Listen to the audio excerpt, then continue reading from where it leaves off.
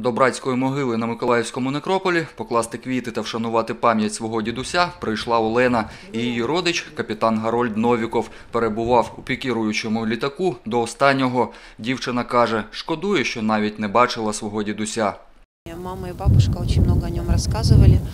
Я хочу передать своим детям, у меня двое детей, и и правнучки у него, его получается. Хочется, вот, чтобы в памяти моих детей тоже все это жило. Я очень им горжусь.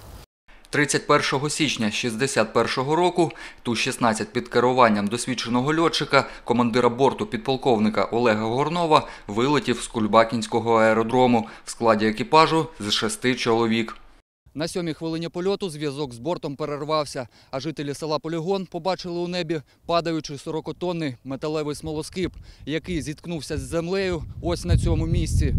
Це крило того самого літака. Він впав в 30 метрах від останнього житлового будинку. Внаслідок катастрофи в землі утворилась яма глибиною близько 9 метрів. Очевидці кажуть, було чітко видно, що екіпаж намагається зробити усе можливе, аби не приземлитися на території селища. Вони, значить, питали всячески перетягнути. Він мав впасти на, іменно на, на наше селище. Ну вони по таким от чином, такими гарбами питався, він падає, а вони піднімалися, піднімалися опять і перетягнули за посілок і за железну дорогу, і там вже за железною дорогою впали.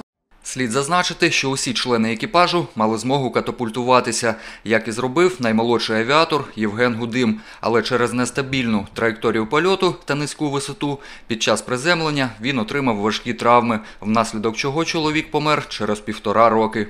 Каждый э, год мы сюда приходим, собираемся, приезжают гости из воинской части, родственники, возлагаем цветы, как и сегодня. Хочется им низко поклониться за то, что они, они спасли наше село, наш поселок. Сколько людей они спасли, сколько жизней спасли. Конечно, дорогой ценой, ценой своей жизни.